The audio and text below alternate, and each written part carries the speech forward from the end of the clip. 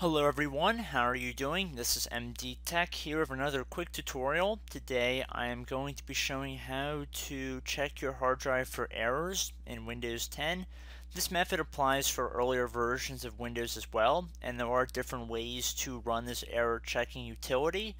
I'm going to do what I believe to be one of the easier methods for less experienced users. So first thing is first we're going to open up our computer settings. So just on the start button just type in computer.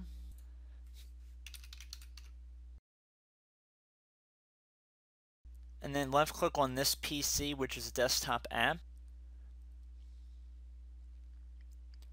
Under devices and drivers, select your main local disk. Most people it'll be the C drive. So right click on that. Left click on properties. Left click on the tools tab. And then there'll be an error checking section in which you can check the drive for system errors.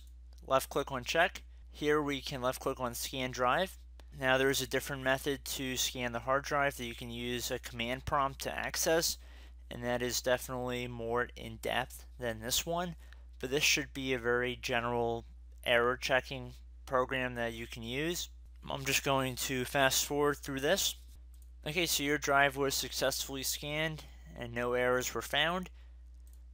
So if there were errors found and it was unable to fix them or you just wanted to see exactly what was found during the scan, you can just open up the event viewer. So just type in on your start menu, type in event viewer, should be a desktop app. The name of this application has not changed from Windows 7 or Windows 8, it's the same name. Probably even goes back to Windows XP. So if you open up the event view, I'm just going to blow it up full screen here so everyone can clearly see it. Just click on Windows Just Log. go on and then under name, next to application, double click on administrative. And you can see under source, look for check disk. So CHKDSK.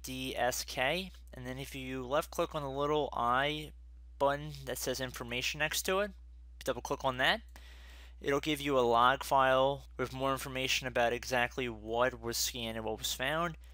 Tell you different file records that were processed and if there were any issues that were detected. And you can see it says no further actions required.